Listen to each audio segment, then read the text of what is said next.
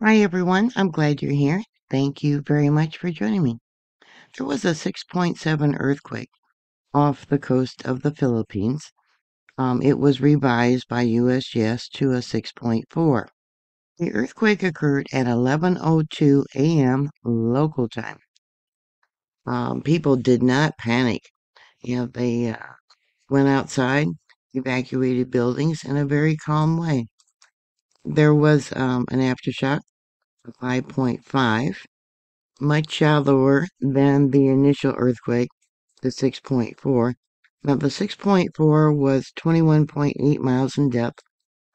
Uh, the aftershock of 5.5 was 7.4 miles in depth. There was also a 4.9, another 4.9, and a 4.6. Now, that earthquake was actually much deeper uh, closer to the uh, trench, the fault line there where we got subduction going on. That was 21 miles in depth. The magnitude 6.4 was oh, about 42 miles east of Baculin. USGS gave it an intensity level of 5. 29 people sent in reports to USGS.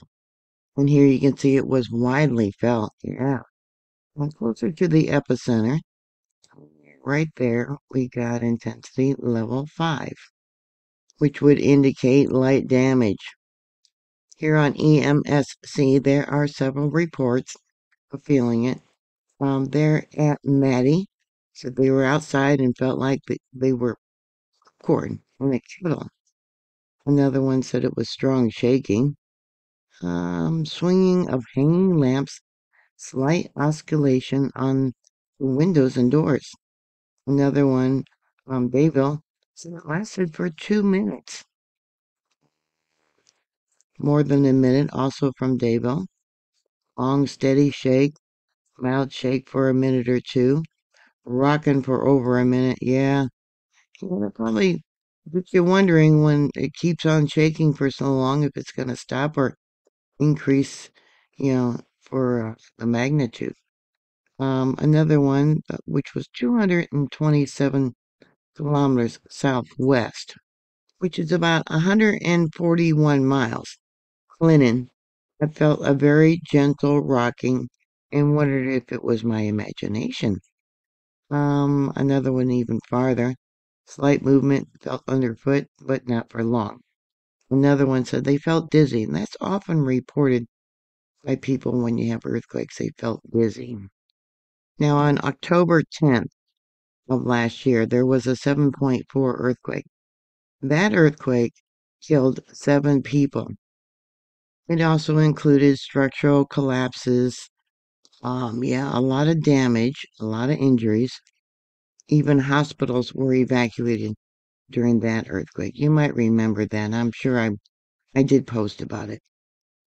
Drawn out in red here is the Philippine Trench.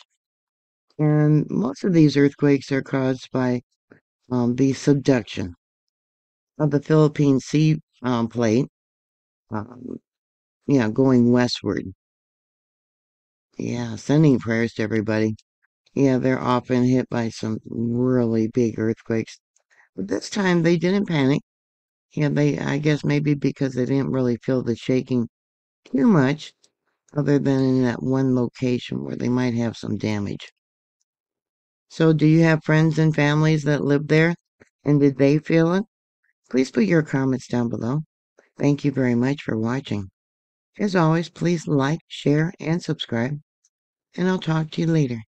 God bless you. Bye.